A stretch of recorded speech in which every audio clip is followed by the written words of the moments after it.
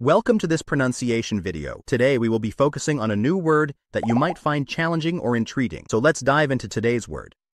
Charging, which means supplying energy to a battery or demanding payment for services. Let's say it all together. Charging. Charging. Charging. One more time. Charging. Charging. Charging. Thank you for joining us on this adventure in pronunciation. Remember, language is a journey, not a destination. Keep exploring, experimenting, and expanding your linguistic horizons. We'll see you next time.